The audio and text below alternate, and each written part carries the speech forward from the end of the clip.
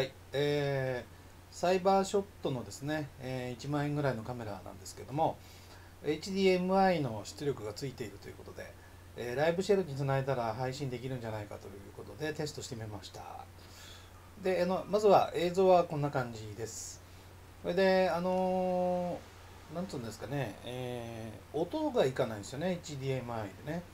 なのでこのあの AR4i なんかに使うこのこういうちっちゃいマイクをですね今本体に挿して、えー送っております。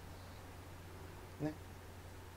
これで、えーモードなんですけどもビデオのモードにしていただいて動画撮影のモードですね。スイッチ。あの写真を撮りながら動画も録画ででこう切り替わってできるんですけどあのカメラ側の動画撮影っていう方に切り替えていただいて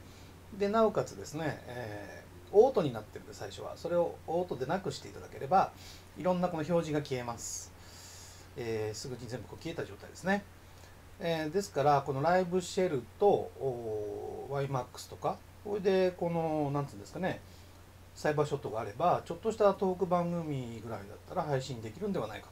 というふうに考えております、えー今後もですねいろいろ HDMI のものでやってみてたいと思うんですけどこのですねズームもあの実はアナログは出ないんですけども横に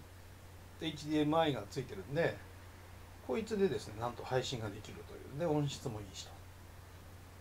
ということで、えこれもまたあの動画送ってみたいと思います、